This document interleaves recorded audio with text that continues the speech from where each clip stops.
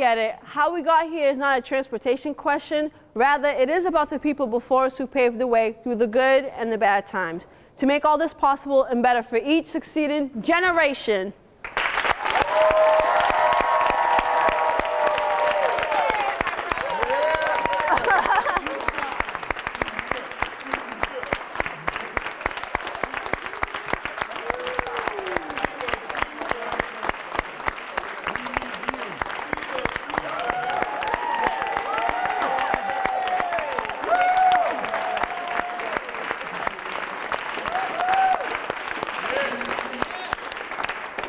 There are many people to thank, but tonight we rejoice in those who took the first steps, not knowing what dramas might await them.